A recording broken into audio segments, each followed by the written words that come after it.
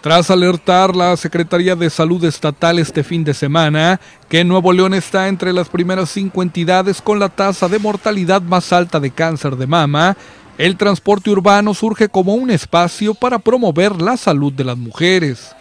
Cinco unidades de la Ruta 2 que recorre de oriente a poniente en la ciudad ofrecerán información contra el cáncer de mama. La iniciativa es producto de una alianza entre Cruz Rosa, organización civil que trabaja en prevención y tratamiento de esta enfermedad, y el Grupo Transregio, una de las compañías de traslado colectivo en la metrópoli. Las cinco unidades son parte de los 50 camiones de más reciente adquisición de la empresa.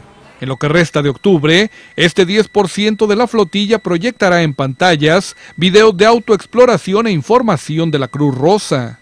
Aunque en un principio se pensó en solo permitir a las mujeres abordar estos camiones especiales, finalmente se decidió que el servicio fuera mixto.